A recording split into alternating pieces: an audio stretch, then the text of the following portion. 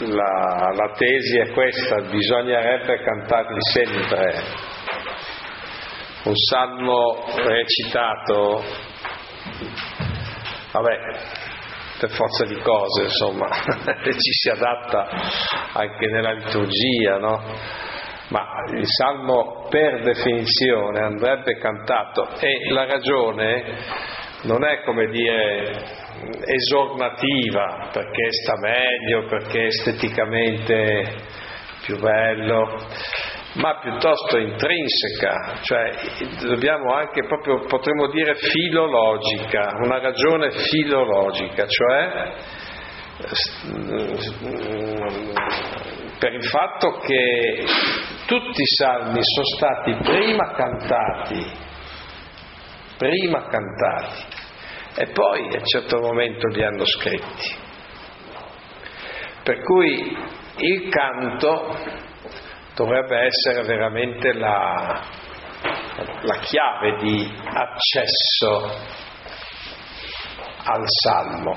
Certo, voi mi direte, ma eh, noi non li cantiamo in lingua originale, come li cantavano in lingua originale? Non si sa niente, punto capo, detto brutalmente, anche se non so se, se Beppe conosce quel bel CD di Suzanne Ventura, non ho mai sentito, è una francese questa, un'ebrea francese che già diversi anni fa ha, ha, ha, prodotto questo CD intitolato La musique révélée, la musica rivelata, eh, pretendendo di ricavare dalle, dagli accenti presenti nel testo masoretico delle regole di um, cantillazione.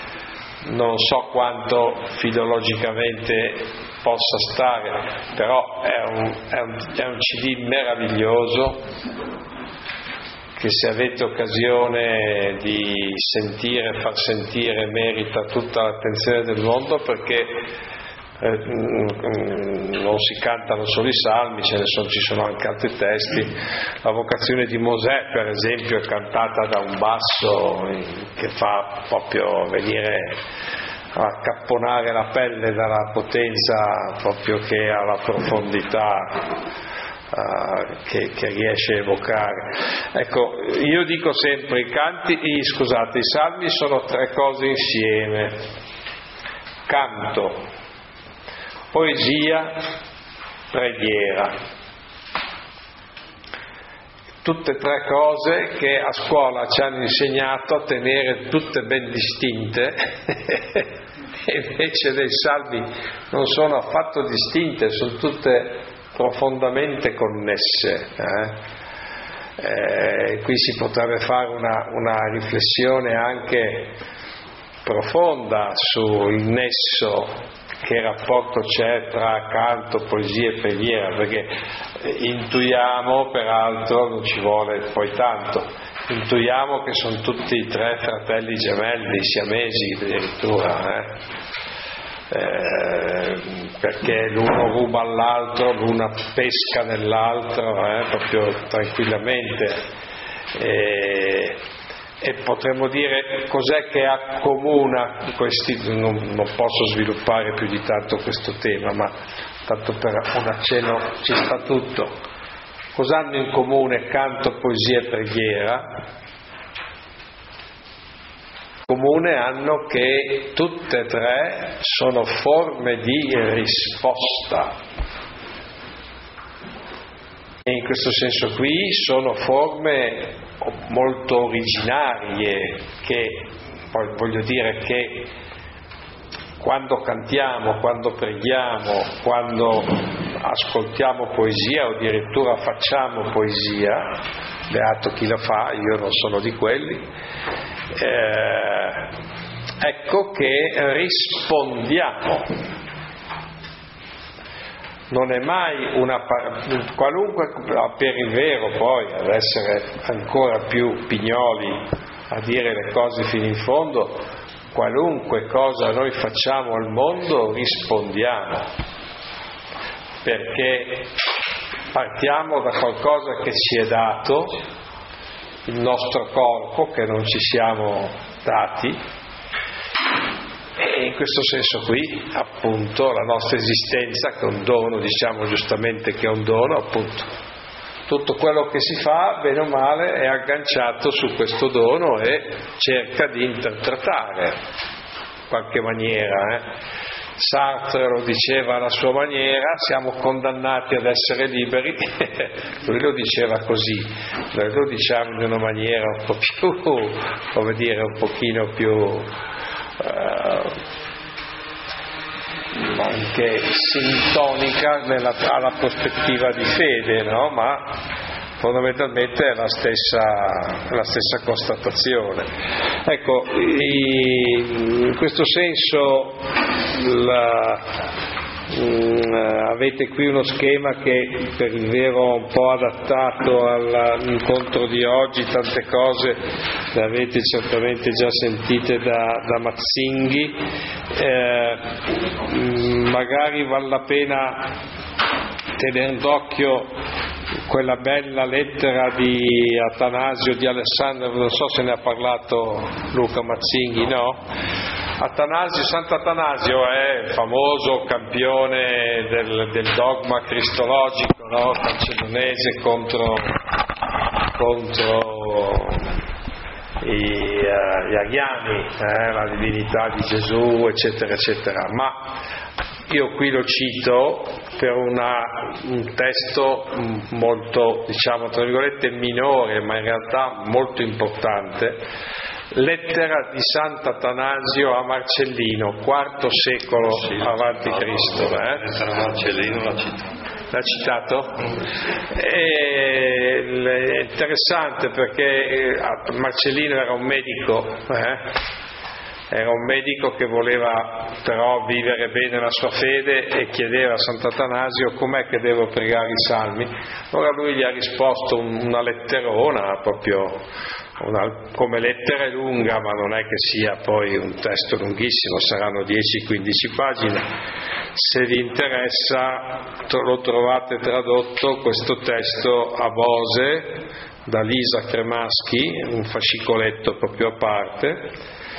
E Atanasio ha quest'idea il Salterio è, è, il libro degli affetti, adesso io lo dico in modo po' più sintetico, cioè nel Salterio tu trovi rappresentato, fotografato, eh, tutte le tue possibili situazioni, tutti i moti dell'anima, dice Sant'Alasio. Ha uno specchio il Salterio. Salterio ti fa un attacco, una bella risonanza magnetica, e non contento di farti l'attack, ti dà anche la terapia. Eh? Eh, in questo senso qui appunto il Salterio modifica la preghiera dei salmi, ti trasforma, ti modifica. Eh, più radicalmente eh, si deve dire il salmo, ogni volta che noi preghiamo un salmo, facciamo un'esperienza pasquale, perché il dinamismo del salterio, soltanto il dinamismo che si vede il passaggio dal lamento, dalla supplica alla lode, è proprio una trasformazione di questo tipo. Eh? Eh, e il, appunto la lettura di questa grande raccolta di salmi eh, che si, fa, si cerca di fare oggi, appunto è una lettura che non soltanto tiene d'occhio il singolo salmo come genere letterario, senza dubbio bisogna farlo sempre, o come componimento singolo, anche questo è cosa buona e giusta e lecita e doverosa, non, non c'è discussione, vale a dire l'approccio delle forme, eh, per fare dei nomi classici Gunkel, recentemente Westermann, eh, l'approccio poetologico, Alonso Schöcker, Ravasi, che appunto dicono ogni salmo è un, una, un poema, è una piccola, piccolo, oh, una piccola cosa a sé, no? Cioè, è vero, è fuori di dubbio. Però eh, Ecco che insomma oggi come oggi si recupera una visione che peraltro era già di, dei padri del deserto, voi provate a pensare ai padri del deserto, cioè i primi monaci, i monaci prima di Benedetto per intenderci, ecco, tanto per dare un'idea che vivevano un po' vivevano insieme, un po' cioè, vivevano per conto suo, qualcuno faceva una vita mix, eh, un po' si trovavano, un po' erano isolati, però tutti quanti avevano questa prassi, la recita completa del salterio tutti i giorni. E lo sapevano, il salterio greco per lo più, eh, a memoria, lo sapevano e dal primo all'ultimo loro si recitavano tutto il salterio, cioè facevano una lezione continua dei salmi, ve l'era parlato forse anche, anche Luca, una cosa del genere, cioè, eh, eh prego? Eh, sì, oggi come oggi, sì, in modo diverso, certamente un pochino più scientifico, un po' più critico, però si prende sul serio il fatto che i salmi abbiano questa serie da 1 a 150, se poi li leggiamo in greco dobbiamo dire a 151 perché c'è un salmo in più. Eh? In, in, greco che parla di Davide e vabbè, l'hanno trovato in ebraico anche a Qumran, quel salmo lì tra l'altro, quindi una testimonianza decisamente interessante e antica. Diciamo che eh, noi siamo, andiamo in chiesa, no? l'avvento, l'avvento quaresima, il nostro ci fa dire, adesso la messa cominciamo con i salmi del Vespro, delle lodi, no? Bene. E lì c'è una distribuzione di questi salmi che più o meno segue quello che ha fatto San Benedetto. Ma di per sé è già un breviario salterio, anzi, ad essere ancora più precisi, è un breviario di tanti breviari, attaccati insieme. Eh? Con un processo di composizione che in parte si riesce a ricostruire, in parte in modo molto ipotetico, in parte non sappiamo. Eh? Però quello che possiamo capire è che stanno così come stanno non a casaccio.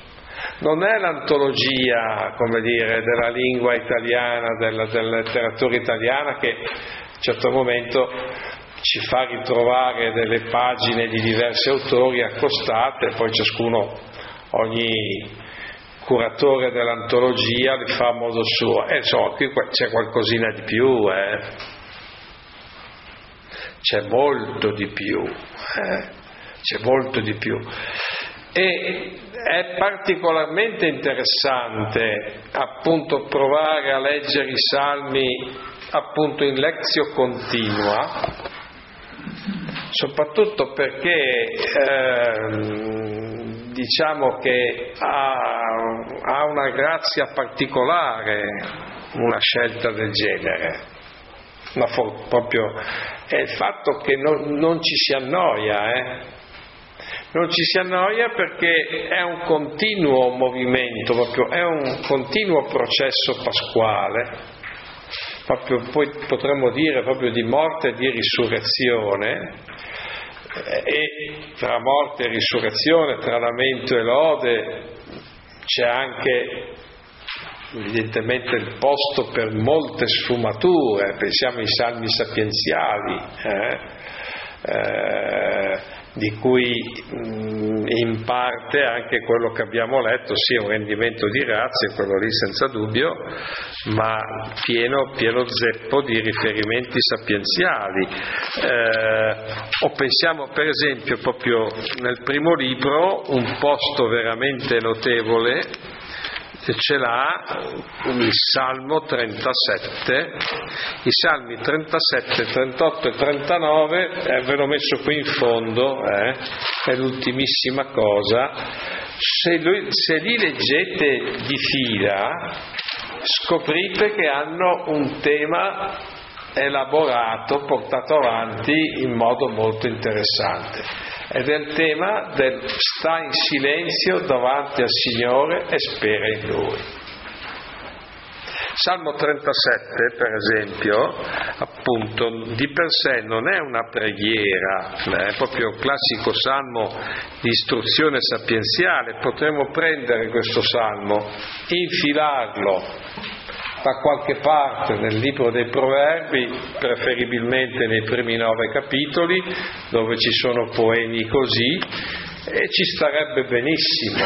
Eh? Non, non, sentiamo qualcuno che prega, la voce di uno che prega, ma sentiamo la voce di qualcuno che istruisce il suo discepolo su come deve pregare, soprattutto in un momento di crisi.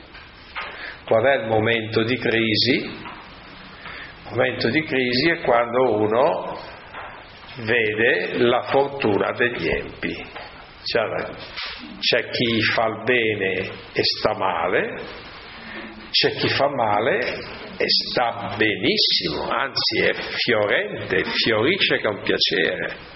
Questo è un tema ricorrente nel Salterio, tornerà, io devo fare l'appuntamento con voi anche per il terzo libro e il terzo libro proprio eh, comincia con Salmo 73 che è proprio portatore dello, della stessa problematica la differenza è che mentre nel Salmo 37 è il maestro che dice al suo discepolo attento e quindi non sentiamo la voce di colui che sente il problema, sentiamo la voce di colui che cerca di illuminare. Nel Salmo 73 invece avevo modo di vedere una cosa molto bella, il Salmo 73 è proprio come dire, la, la, crisi indiretta, il bello della diretta, come si usa dire, no? cioè chi sta pregando, 73, 77 è anche fatto così, eh? cioè sono, proprio, sono due salmi favolosi dal punto di vista narrativo, perché è un diario freschissimo di una crisi e della sua soluzione. Eh? Bene, tornando al nostro primo libro, 37, 38, 39, ecco, vi invito proprio a farne, provate a farne una lettura continua, con calma, e scoprirete che proprio su questo tema del silenzio eh, questi salmi sviluppano una, una notevole, eh, un notevole cammino di fede. Eh? Appunto si parte da, da, un'istruzione ricevuta da un altro e proprio la, la chiave del Salmo 37, il mio modo di vedere, sta al versetto 7 sta in silenzio davanti al Signore e spera in Lui. Non irritarti per chi ha successo, per l'uomo che trama insidie, desisti dall'ira, deponi lo sdegno. Non irritarti, non ne verrebbe che male, perché i malvagi saranno eliminati, ma chi spera nel Signore erediterà la terra. Eh. La cosa interessante è proprio questo invito al silenzio. Perché? Perché sembra proprio che la preghiera di supplica che prevale nel primo libro del Salterio e anche nel secondo e diciamo percentualmente prevale in tutto il Salterio.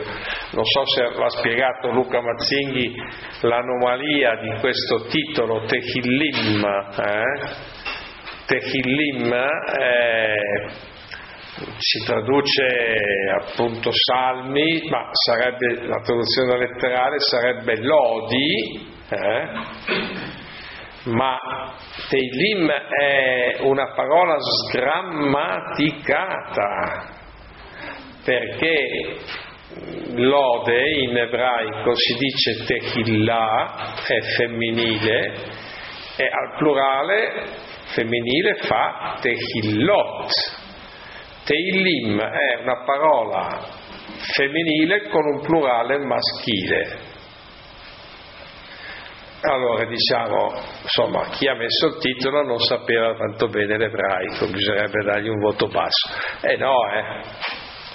Cioè la sgrammaticatura è, è sfiziosa, deve essere chiaramente un segnale intenzionale, eh? cioè perché appunto, oltretutto facciamo conto che il salterio sia un barattolo con dentro 150 pezzi, facciamo il conto, l'odino non è la maggioranza di quei pezzi, la maggioranza sono suppliche individuali. Allora cosa significa questa discrasia? Eh? Probabilmente il senso è quello un po' spiegato poi al punto 2 di questo schema. Il senso è, è il fatto che con il titolo non si vuole indicare un genere di preghiera particolare, che appunto sarebbe contrapposto all'invocazione, alla supplica, a queste cose qua, ma si vuole piuttosto, come dire, dare un, un titolo più complessivo, generale, un metalinguaggio, per usare un termine un po' intellettualmente nobile, cioè un, un, titolo che abbraccia tutte le preghiere possibili e immaginabili contenute nel Salterio, riconducendole al loro cespite fondamentale, ovvero al loro vettore, alla loro destinazione fondamentale. E allora tant'è vero che qualcuno non traduce eh, lodi, eh, ma traduce per esempio un traduttore francese molto originale, però di quelli che la sanno anche molto lunga, traduce gloire, glorie, perché, eh, diciamola con una battuta che è alla portata di tutti, cosa diciamo? Che tutti i salmi finiscono in gloria. Eh, quello che è una, una, battuta così popolare e perfino banale ha la sua verità, ha una sua verità profondissima, perché anche la supplica la più desolata e la più oscura, nel terzo libro avremo modo di vedere per esempio Salmo 88, eh, il penultimo che è associato all'89, appunto un salmo di quello che si legge a compieta di venerdì, Signore Dio della mia salvezza, a te grido giorno e notte, eh, e giunga a te il mio grido, eccetera, eccetera, ma in realtà poi si continua a invocare ma non arriva nessuna risposta. Eh? Allora si può parlare di una, dire, una destinazione di lode della preghiera di supplica, non solo si può ma si deve. Cioè per noi cioè noi abbiamo molto schematizzato tutto e messo compartimenti stagni un po' dappertutto nella, nella, vita culturale, nella vita spirituale e via dicendo. Ma appunto per, eh, per il Salterio non è così. Eh? La, la, preghiera di supplica, anche la più desolata, in realtà è una scommessa sulla potenza di Dio e soprattutto sulla capacità di ascolto da parte di Dio. Alberto Mello, monaco di Bose che vive a Gerusalemme ormai da, da, da una vita proprio letteralmente, eh, eh, ha scritto un libricino intitolato Un mondo di grazia eh, e ha dedicato un capitolo, proprio il libricino dedicato ai salmi, ha scritto diverse cose sui salmi, secondo me il libro più accessibile è quello lì che ha Beppe in mano, che vi avrà già mostrato, eh. adesso è tradotto col titolo un libro, i salmi, un libro per pregare, il titolo originario era l'arpa a dieci corde, poi l'hanno cambiato perché non vendeva, era, era un titolo un po' troppo sofisticato, hanno lasciato perdere.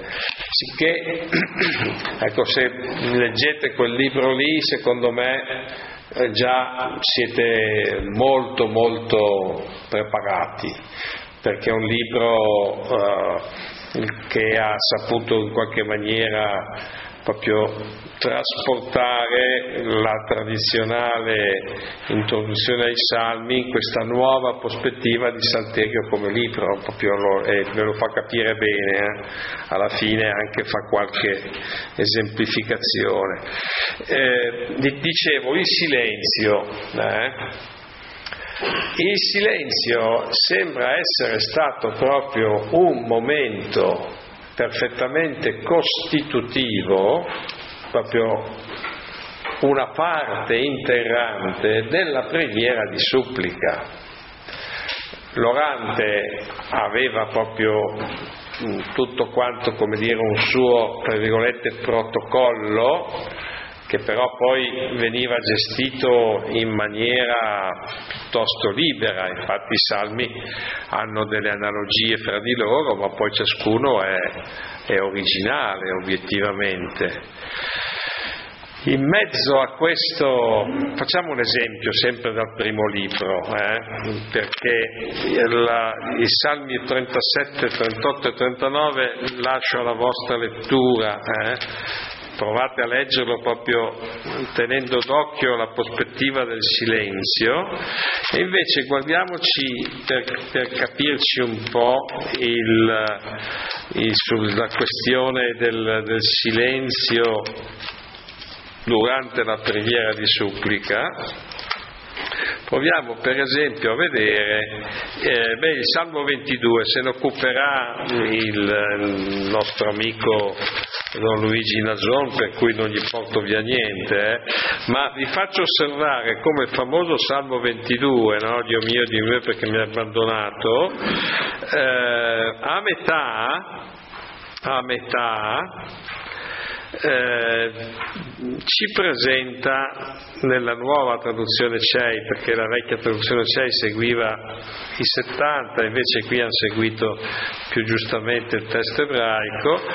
Eh, andiamo al versetto 22 eh, insomma l'orante continua a pregare, Signore salvami, non stare lontano, eccetera, eccetera. Ecco, l, guardate il versetto 22, salvami dalle fauci del leone e dalle corna dei bufali, punto. E poi cosa c'è? Cosa leggete? Ecco, andava graficamente, era meglio staccarlo e metterlo in mezzo o anche attaccarlo al versetto 23. Eh? Tu mi hai risposto di colpo.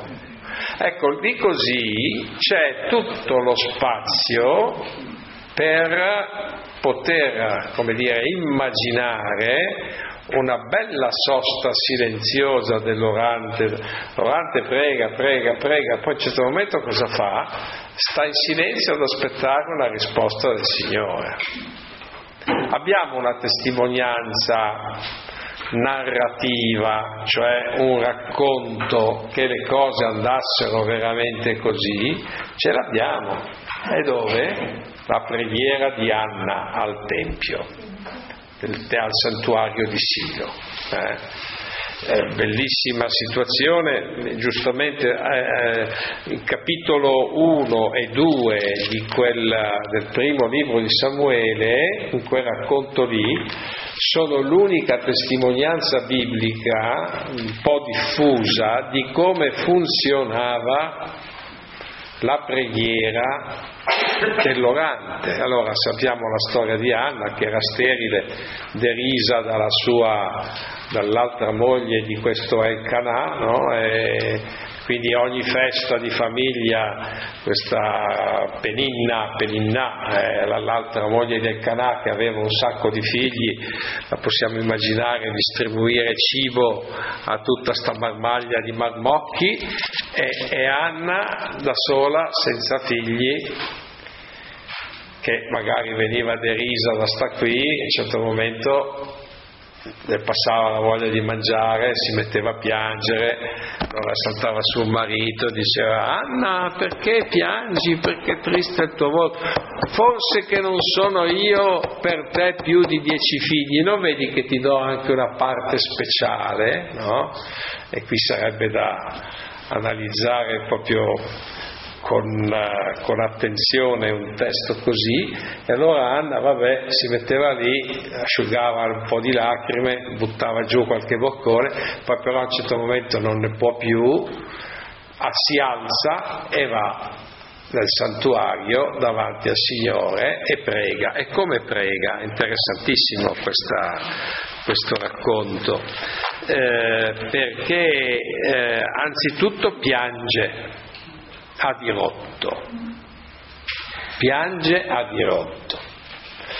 E poi quando riesce appena appena a articolare qualche parolina, ecco che allora che cosa dice? Eh? È molto interessante il racconto. Anna si alzò dopo aver mangiato e bevuto a Silo. In quel momento il sacerdote Eli stava seduto sul suo seggio davanti a uno stipite del Tempio del Signore.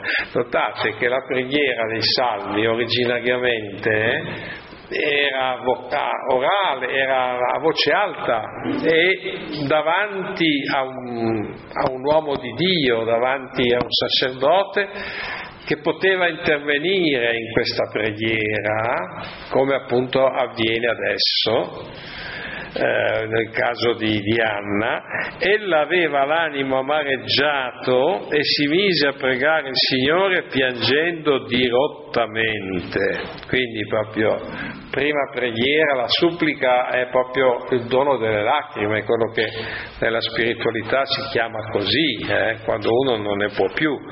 Eh, eh, successivamente Anna dirà sto effondendo, ma lo vediamo dopo, sto effondendo la, la mia, mia, anima davanti a Signore.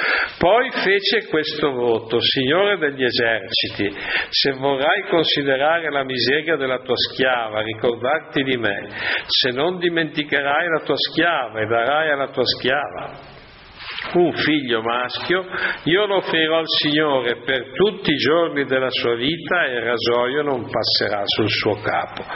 Eh, è il voto di nazireato, eh, di consacrazione appunto al Signore, per cui non, non ci si taglia nemmeno i capelli. E la cosa molto bella di questa, di questa preghiera di Anna è che l'oggetto della domanda, ciò che tu mi dai, Signore, io te lo restituisco in anticipo. È, è di una forza spirituale incredibile, quello che Paolo poi al capitolo 12 lettera ai Romani dirà offrite i vostri corpi come sacrificio appunto gradito a Dio, logikos, eh? Eh, razionale si traduce, ma in realtà eh, vuol dire proprio secondo, secondo la parola, secondo il logos. Fatto sta che eh, mentre prolungava la preghiera davanti al Signore, egli stava osservando la sua bocca. Anna pregava in cuor suo, si muovevano solo le labbra, ma la voce non si udiva, caso anomalo, perché di solito la voce dell'orante è sempre bella spiegata, eh? invece lì proprio poverina non ce la fa. Dopodiché eh, egli la ritenne ubriaca e le disse fino a quando rimarrai ubriaca? Smaltisci il tuo vino. Anna rispose, Eli evidentemente tutti gli anni vede questa famiglia che viene su al Tempio a fare la festa, a fare l'offerta, sa benissimo che cosa succede in quella famiglia e ha capito che mm, Anna dal, dal dispiacere insomma, ha alzato troppo il gomito secondo lui. E Anna invece replica dice no mio Signore, io sono una donna affranta dall'animo amareggiato eh, alla lettera, non ho bevuto né vino né altra bevanda inebriante, ma sto solo sfogando il mio cuore davanti al Signore. Sfogare il mio cuore è una, non è una buona traduzione perché il verbo ebraico è shafak e shafak vuol dire semplicemente versare. Adesso io qui ho mezzo bicchiere d'acqua, se, se lo inclino verso tutto per terra. Questo è shafak e lo si usa per le offerte liquide in tutto il Medio Oriente antico. Eh? Cioè si va al Tempio, si possono offrire, che ne so io, piccoli animali o anche un vitello, eh? ma si può offrire anche acqua, olio, latte, vino.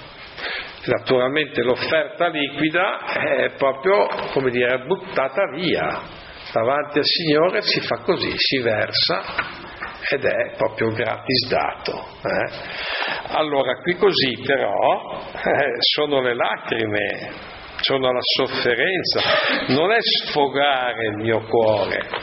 Io posso sfogarmi con, con Beppe se, se è mio amico e siamo in confidenza. Qui così è proprio un'azione riservata a Dio, Solo Dio sa contare le lacrime della mia sofferenza, dirà un altro salmo. Le, mie, le lacrime del mio oltre tu le hai contate, eh? Eh, che allora ha tutto un altro valore evidentemente. Eh? La supplica, la preghiera di supplica è questo, cioè che cos'hai da offrire al Signore? Niente, meno di niente, perché offro il fallimento che in questo momento mi sta devastando.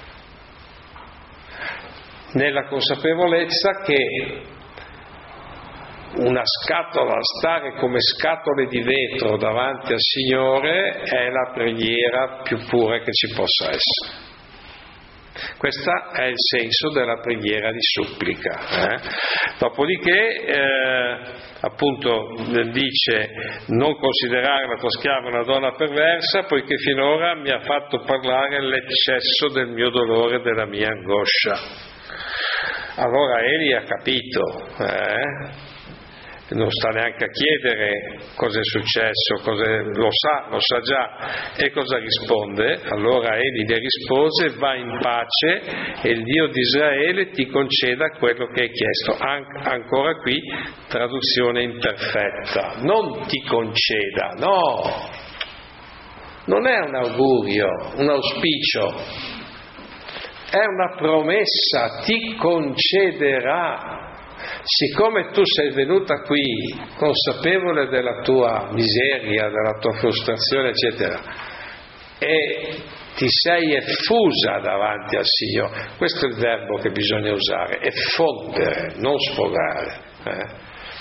effusione, no? proprio come fosse un sacrificio cruento, non è nessun sacrificio cruento, è perfino più doloroso, ma è un sacrificio spirituale fino in fondo, cioè perché di volta in volta si dice ho effuso il mio cuore, la mia anima, il mio sospiro, sempre la stessa cosa evidentemente in buona sostanza. Va in pace e il Dio di Israele ti concederà, è una promessa, cioè l'uomo di Dio si deve compromettere di fronte al povero che grida l'uomo di Dio è chiamato a emanare un oracolo o a richiamare semplicemente la, la Torah, quel che dice la Torah, fa così, fa cosà, oppure a dare veramente un oracolo di salvezza, di conforto. Eh?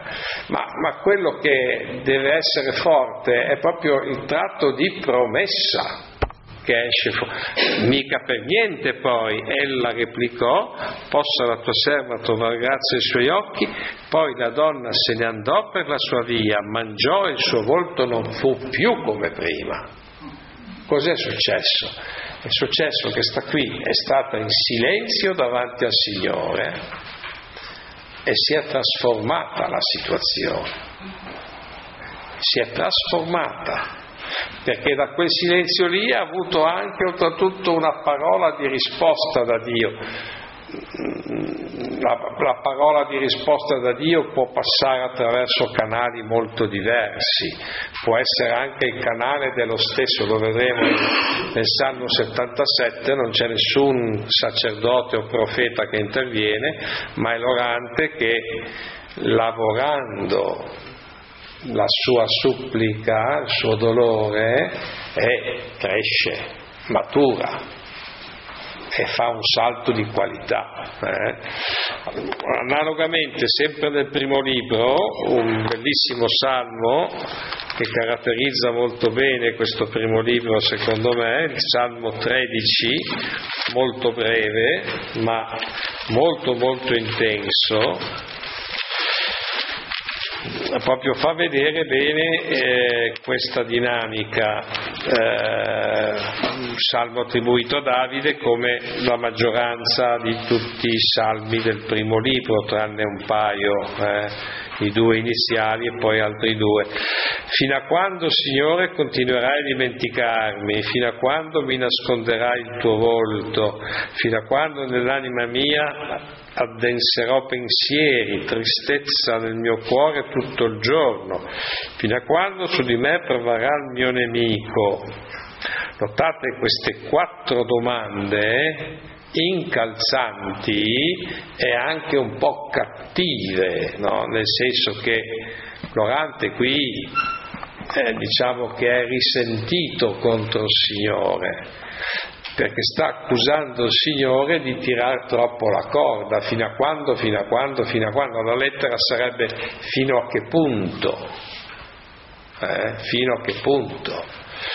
E qui abbiamo veramente quella che i tedeschi chiamerebbero la clage, cioè un'invocazione, una supplica che è anche un'accusa però. Eh? Perché Dio dovrebbe avere cura dei suoi fedeli, c'è di mezzo l'alleanza, no? C'è una situazione perfettamente ordinaria e qui così di mezzo il problema probabilmente potrebbe essere, si parla del, del nemico, eh? poi si fa ancora il mio nemico, versetto 5, io qui così intenderei nemico con la N maiuscola, eh, cioè chi è il nemico N maiuscola? Facile eh, domanda. Facile, facile. È la morte. Eh? Ehm, nella, nell'antichità la morte è una divinità, certo in Israele è ribassata di rango, ma c'è sempre questo fondo eh, di, di, di, eredità mitologica.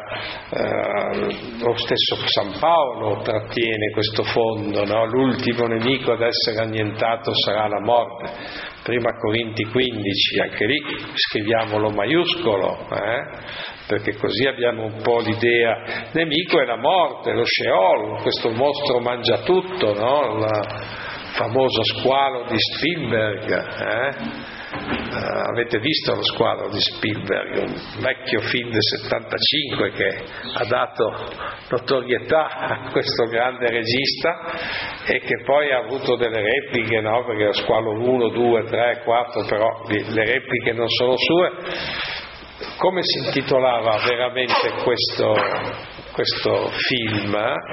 Titolo Squalo è una traduzione libera, ma originariamente da buon ebreo Spielberg conosce la sua tradizione e il titolo era Joe's Fauci.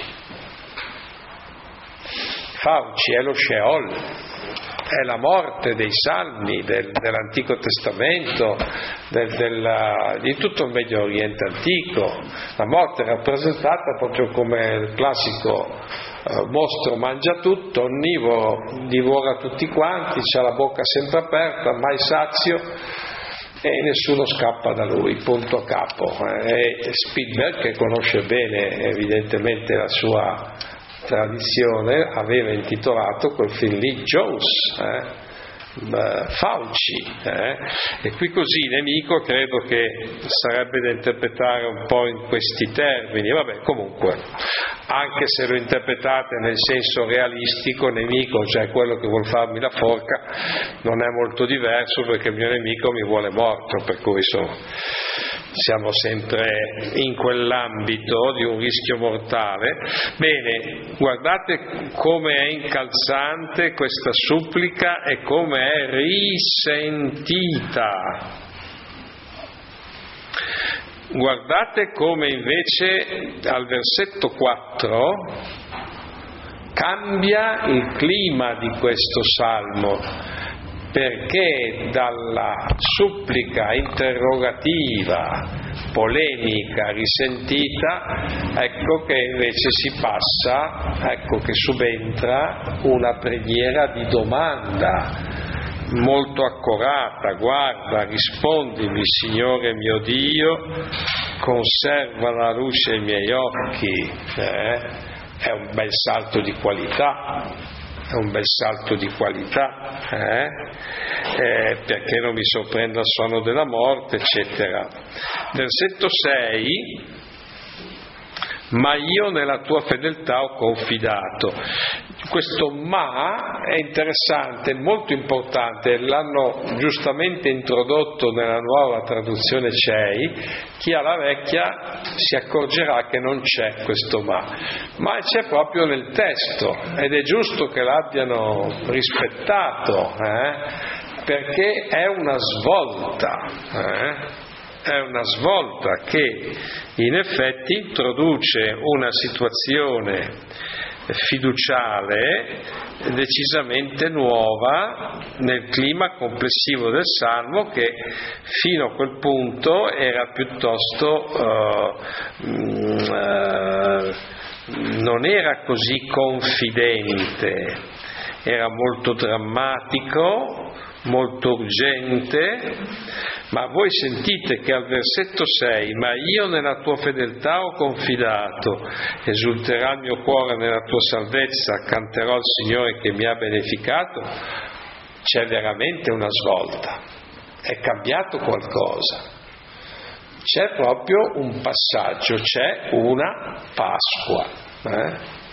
Sant'Agostino definiva Pasqua transitus per passionem, fondendo due tradizioni prima di lui, col suo solito colpetto di genio, Pasca id est transitus per passionem, eh, attraverso la passione hai fatto un passaggio, hai fatto una svolta, hai guadagnato appunto una situazione nuova che addirittura schiude la prospettiva della lode. Esulterà il mio cuore nella tua salvezza, canterò al Signore che mi ha beneficato.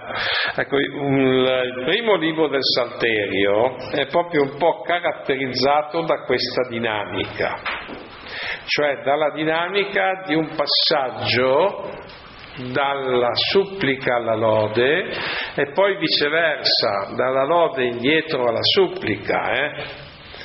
Eh, valgono un po' tutti e due i movimenti eh, in, nel primo libro, ancorché prevalga la preghiera appunto mh, particolare di supplica, ma fondamentalmente sono siamo nella, in questo tipo di, di logica. Eh, guardate il punto 6 dello schema che vi sarà un po' ostico, complicato, ma poi vedrete che non è così complicato come come sembra, fondamentalmente in termini un pochino più complessi vi dice quello che vi ho appena detto, cioè eh, se si studia un po' la composizione di questo primo libro, diciamo che stiamo sulla colonna di destra, abbiamo fondamentalmente quattro raccolte di salmi, si, si possono individuare così, insomma un po' indicativamente almeno, da 3 a 14 un primo blocco, da 15 a 24 un secondo blocco,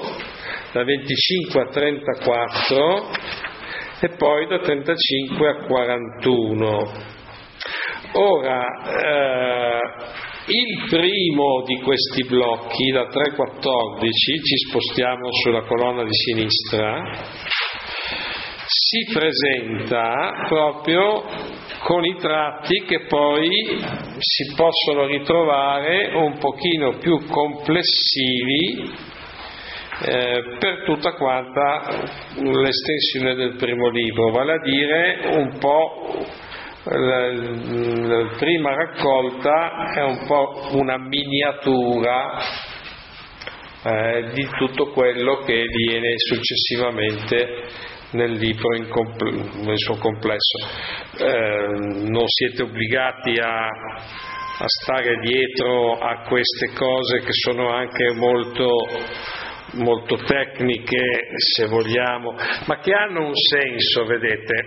Allora, diamo un po' un'occhiata a questa prima raccolta. È una prima raccolta che anche qui obbedisce ad una logica di progressione. Eh? Eh, per esempio una logica bella con cui attraversare l'intero salterio è pregare ponendo attenzione appunto ai, agli avverbi di tempo. Eh? eh si si comincia col Salmo 1 dicendo che il giusto nella legge del Signore trova la sua gioia, la sua legge medita giorno e notte. Eh? Bene, giorno e notte cosa vuol dire nella Bibbia? Vuol dire sempre.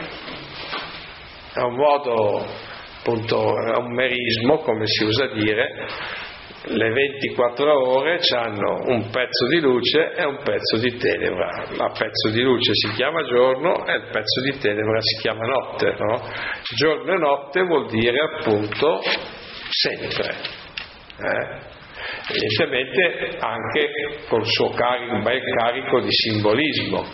Diciamo che di giorno ci vedo e mi sento più sicuro, di notte non ci vedo un accidente e lì insomma non è insomma resta manelo viscum domine qui a vesperacit eh? resta con noi Signore perché si fa sera il giorno ormai declina la notte fa paura a tutti eh? E più uno magari va avanti negli anni o non sta bene eccetera eccetera e più momento della notte è un momento angoscioso. Quindi la sua legge medita giorno e notte vuol dire nei momenti luminosi, nei momenti oscuri, nel bene come nel male, se vogliamo. No? Allora è interessante, eh, Salmo 2, il tratto temporale più interessante del Salmo 2 non è indicato con giorno o con notte, ma è indicato piuttosto con questo avverbio, eh, versetto 7, il Signore mi ha detto tu sei mio figlio, oggi io ti ho generato. Eh? Quell'oggi lì è proprio, piace molto a San Luca, eh? l'oggi di Dio eh, evidentemente dal senso della presenza. Provate ad andare avanti a leggervi il Salmo 3 e 4 e troverete rispettivamente mh, mm, preghiera del mattino e preghiera della sera. La stessa Bibbia di Gerusalemme nella nuova edizione vi segnala questa cosa. Salmo 3, invocazione mattutina del giusto perseguitato. Eh? Infatti eh, si dice, io mi corico, versetto 6, mi addormento, mi risveglio, il Signore mi sostiene. È la preghiera del mattino. Eh? Decisamente.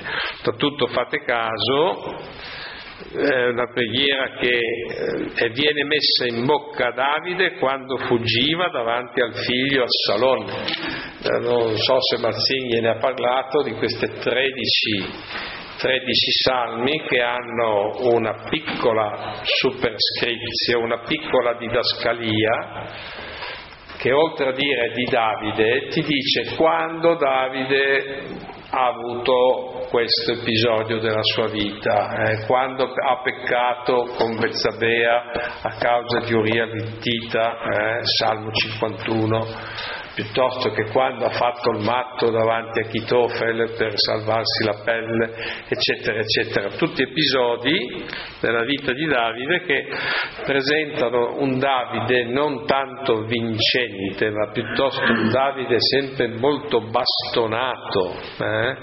un Davide come noi, eh, come noi e magari anche un po' peggio di noi, eh? eh nella sua umanità più, più diretta, più elementare, più ruvida eh? e più realistica, o anche nella sua sofferenza più, eh, più acuta. Il figlio Salone vuole farlo fuori per portargli via il regno, insomma, non è stata una bella esperienza eh? vedersi il figlio che ti viene addosso con la spada. Eh? chiaramente sono tutte eh, dire, teologizzazioni molto importanti per fare del Salterio una preghiera regale. Comunque fateci caso, Salmo 3 poi presenta la situazione del, del giusto che dice molti contro di me insorgono, molti dicono di me. Guardate il Salmo 4. Eh, anche qui la stessa situazione. Eh? Eh, molti dicono, versetto 7, sono accostati proprio anche per questo. Il Salterio è un libro agonistico, drammatico, è una, è una lotta, è una lotta spirituale tra il giusto e gli empi, uno contro molti. Questa è già la situazione del Salmo 1 e del Salmo 2. Eh? Eh, la scelta che propone il Salterio è una scelta di minoranza, eh, senza alcun dubbio, ed è una scelta difficile, perché evidentemente la maggioranza può essere schiacciante. Allora è molto bello che i primi due salmi, per esempio, elaborino proprio questo, questa presenza eh, plurale che insidia, e che insidia in qualche maniera di giorno e di notte con, con i fatti o anche con le parole. Eh? Molti dicono, versetto 7, chi ci farà vedere il bene se da noi, Signore, è fuggita la luce del tuo volto? Secondo stico si può tradurre in modi molto diversi, questa qui è una soluzione possibile. Eh? senza dubbio. Però potete vedere appunto che il Salmo 4, si, infatti non a caso è uno dei salmi di compieta, si risolve benissimo, hai messo più gioia nel mio cuore di quanti ne diano a loro grano, vino in abbondanza. In pace mi corico e subito mi addormento. Tu solo, Signore, fiducioso mi fai riposare. Eh? Ecco che allora, interessante, no? Quel giorno e notte del Salmo 1 quella temporalità nostra che è fatta di tanti aspetti, di tante sfaccettature, ecco che viene declinata proprio di volta in volta nella preghiera. Poi di nuovo, Salmo 5, al mattino ascolta la mia voce. Eh? Al mattino. Potreste provare proprio a leggervi con pazienza tutti i 150 salmi, non dovete farlo di fila, cioè, ma così con calma, cucendoli proprio sul tempo, al mattino, alla sera, di notte, a mezzogiorno, sempre, eh, oggi, domani, mm, eccetera, eccetera. Eh, eh, diventa davvero un tipo di esperienza di preghiera molto molto eh, vivace e tutt'altro che, come dire, che peregrina. Il grande vantaggio di una, lettura, di una lettura continua del Salterio è questo qua. Aggiungo una cosetta, vedete che eh, la, il primo blocco, i primi salmi dal 3 al 14, hanno proprio questa, come dire, questa andatura. Eh, al centro ci stanno due salmi di lode, un inno rispettivamente e poi un rendimento di grazie. E ai lati invece ci sta un pacchettino di salmi di supplica, eh? proprio a dire che in questo caso evidentemente in modo quantitativo prevale la supplica, questo vale per i primi due libri del Salterio, le cose mm, si mantengono nel terzo, ma poi il quarto e quinto si cambia completamente la faccia, lì prevale la lode. Eh? Allora è interessante qual è la, il primo salmo di lode di tutto il Salterio, ultima cosa che dico, eh, poi finiamo, è il Salmo 8 il famoso Salmo 8 che sappiamo, credo, più o meno tutti quanti a memoria, no? Che cos'è l'uomo, Signore, perché te ne ricordi, un figlio d'uomo, eccetera, eccetera. È, è molto interessante che cosa? Beh, insomma, i salmi sono preghiera regale, senza alcun dubbio, eh? e lo si vede bene nel primo libro con il Salmo 2, ve l'ha spiegato Mazzinghi, senza dubbio ma poi lo si vede bene con i salmi 20 e 21, che sono due salmi di preghiera per il re. Il re, Salmo 20, che deve andare in guerra, allora si prega che tutto quanto vada bene. Salmo 21, il re è andato in guerra, è andato tutto bene, torna e quindi si è tutti contenti. No? Eh, lo stesso Salmo 41 di per sé non è proprio un salmo regale, ma siccome si dice beato l'uomo che a cura del debole nel giorno della sventura il Signore lo libera, chi ha cura del debole è in primo luogo la figura regale, eh, quindi molto probabilmente l'hanno messo di così a chiudere il primo libro con questa intenzione. Bene, il Salmo 8 eh, è una preghiera regale, però con dei tratti specialissimi, perché chi è il re di così non è il Messia, uno, eh, di solito il re è uno a dispetto di molti, sopra molti, alti... se ci sono due re sono guai, no? Ma il Salmo 8 dice che i re sono tutti gli Enosh, cioè tutti gli uomini e le donne di questo mondo ma anche i portatori d'acqua, anche gli schiavetti, anche quelli che tagliano la legna, sono re. Oh yes, sono re. Siamo stati abituati, cresciuti nel, a questa idea no? che l'uomo è il re dell'universo, dovremmo completamente distruggere quest'idea per riscoprirla, vale a dire non è affatto ovvio nel Medio Oriente antico un'antropologia universale, cioè un modello umano che vale per tutti nel segno della regalità. L'uomo è uno schiavetto per i babilonesi, eh? creato dagli dei quando litigavano e a un certo momento, siccome c'erano degli dei di serie B che dovevano servire gli dei di serie A, a un certo momento è arrivato il, la, la, divinità più intelligente e dicono ma no, ma perché stiamo a litigare tra di noi? Facciamoci qualcuno che ci serve, bello basso, e noi viviamo bene. Allora così è creato l'uomo. Non è una visione molto ottimistica, obiettivamente. Per cui la Bibbia, che a un certo momento gli balza l'idea di dire no, no, tutti quanti uomini, tutti, tutti uomini, donne, piccoli, tutti, tutti destino regale. È una roba che poi si è presa lo sfottò di Giobbe. Provate a leggere Salmo 8 e poi Giobbe 7.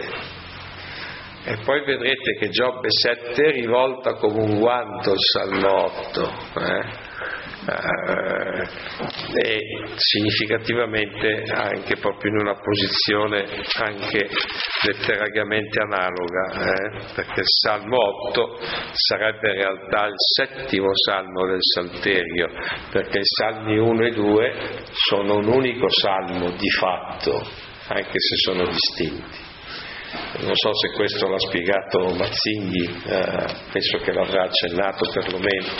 E allora il Salmo 8 sarebbe il settimo salmo, esattamente come al settimo capitolo Giobbe prende di mira il Salmo 8 e lo fa a brandelli, letteralmente. Eh. Ma di questo potremo parlare un'altra volta.